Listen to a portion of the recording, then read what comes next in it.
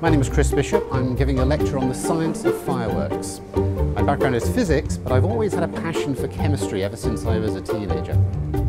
My name is Chris Brackstone. I'm Senior Technician over here in the Physical and Theoretical Department of Chemistry in Cambridge. I'm going to be helping Chris Bishop with the preparations and the lecture, of The Science of Fireworks. So Chris Braxton is the technician here in the Chemistry Department who helps me with these lectures and he's been absolutely fantastic. He put a huge amount of effort into uh, preparing for the lectures and actually helping me deliver the lectures. Chris is a lot of fun to work with. With a very good sense of humour. He's a bit like me. We have a lot of common ground. I think we both share the same kind of enthusiasm for it. We're both, both still kids, which is great.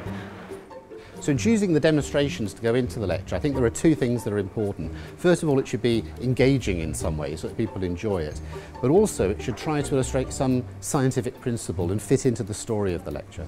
Well, the lecture is obviously mostly about the science of fireworks. So there's a lot more than just the whizzes and bangs and light shows that you're, you're going to expect from a fireworks display. It's going to be explaining how these things happen.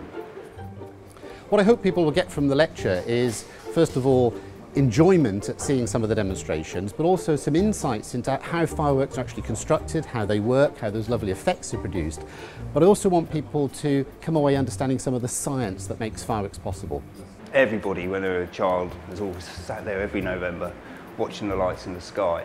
And there can't be many people out there who haven't wondered, how do you get that colour? How do you get that crackle? How do you get that spark? Um, and this is going to go some way of explaining it. Something I love about doing this kind of lecture is that sort of audience engagement, seeing the reaction of the audience, doing something that's a little bit surprising, they're not quite expecting, and get, getting that lovely reaction from them. One of the things I do during the lecture is ask for some volunteers to come down and help me with some experiments.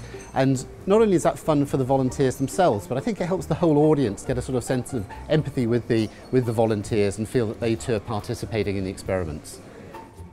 My favourite firework is something called a strobe shell. You see an explosion in the sky and then these lovely twinkling points of light.